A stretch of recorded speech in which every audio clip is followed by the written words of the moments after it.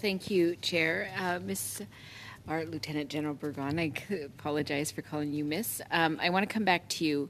So, I, I just to follow up on the question that I asked last time, is there a way that women veterans could offer feedback on their lessons learned and to support sort of quality insurance. I'm just wondering, is there any way, because I, I, hear very clearly about the steering committee and that there's a lot of work happening, and I appreciate that, and probably will ask you a question about that in a moment.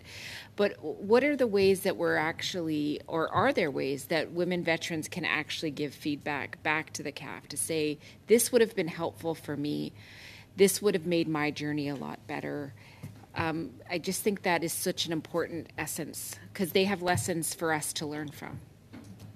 Uh, thank you very much, Mr. Chair. And that's a very good point. And I think we do stakeholder engagement. So maybe we have to be a little bit more diversified in our stakeholder engagement and give the voice to our veterans, our women veterans, to come back and say, um, This is my experience, so that we can listen to them and, and potentially share with them. Because when we look and and that's one thing that we we forget. But our veterans are our best recruiters okay? Because especially women and visible minority join the military based on advice from people they know and it's not like they need a permission but they, they, they like being told you should apply to the caf because you're going to have a great career. And the more we can enable our veterans to have that voice of really talk positive about their experience the more we're going to recruit and it's important. So that exchange of lessons learned and maybe for us to share also what has changed um, in the last five or ten years so that they better understand and maybe they can say